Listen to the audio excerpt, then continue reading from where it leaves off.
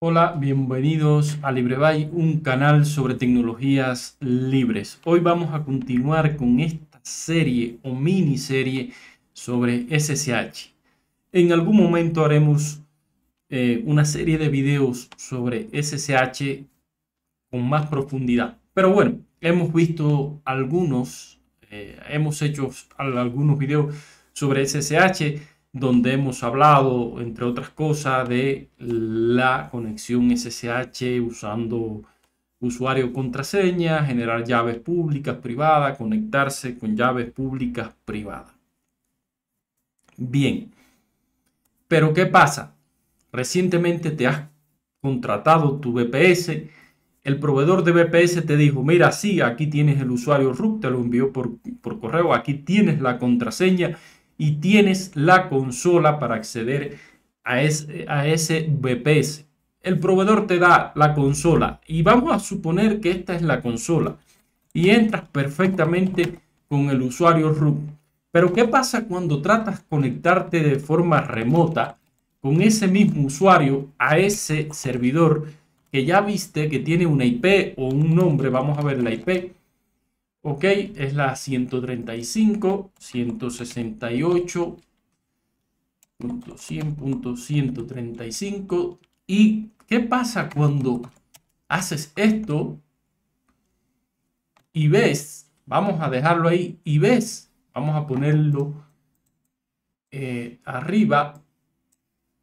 Ok, hasta aquí tenemos, vamos a suponer que esta es la consola de tu proveedor de BPS, tu proveedor de servicio, y ves que estás conectado, pero en cambio aquí, en cambio aquí no puedes conectarte.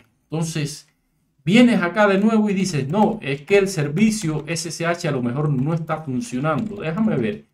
Sí, déjame ver si está funcionando con este comando. Dice, sí, sí está funcionando. ¿Qué es lo que pasa entonces?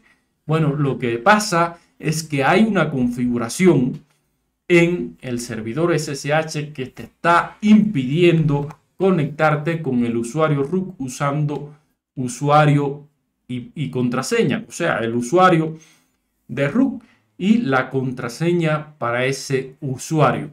Esta es una medida de seguridad que viene muy, pero muy bien, porque lo recomendable es que usted se cree un usuario estándar, se cree llaves públicas y privadas como lo vimos en un video anterior, y luego con esas llaves públicas y privadas se conecte con ese usuario estándar y luego cambie al usuario root con el comando sudo o su. Pero en fin, digamos que usted tiene por primera vez este VPS que se, está nuevo y entonces quiere conectarse al de forma remota a, ese VPS porque la consola de su proveedor de servicio no le da todas las facilidades que puede tener cuando se conecta de manera remota. Por ejemplo, acá vamos a suponer que no puede hacer scroll y mirar el historial, en fin, y hasta que usted no prepare su VPS, lo deje listo para funcionar, entonces por lo menos necesita conectarse con el usuario root, aunque luego por supuesto, deshabilite en lo que es la autenticación usando contraseña. Entonces, ¿cómo podemos cambiar este comportamiento? Es lo que vamos a ver en este video, que es muy fácil. Es, puede usar el editor Nano, puede usar eh, eh, otro editor, pero por ejemplo Nano es muy fácil de usar y con nano eh, SSH, SSH de config. ¿Y qué vamos a buscar? Vamos a buscar el usuario root. Vamos, bueno, aquí mismo lo tenemos. Aquí está. Y tenemos esta directiva aquí. Y lo único, y si quieren, lo que podemos hacer es copiarla. Vamos a copiar esta directiva en nano con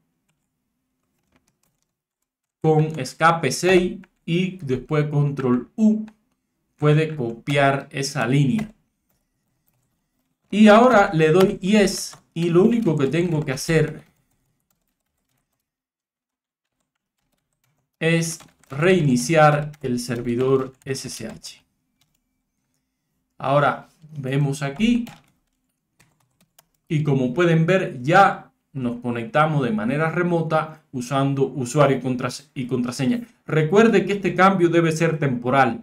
Debe ser para que usted prepare su VPS y luego revierta ese cambio y use llaves públicas y privadas con un usuario estándar. Bueno, esto es lo que quería mostrarle por el día de hoy, así que nos vemos en un próximo video para seguir hablando sobre tecnologías libres.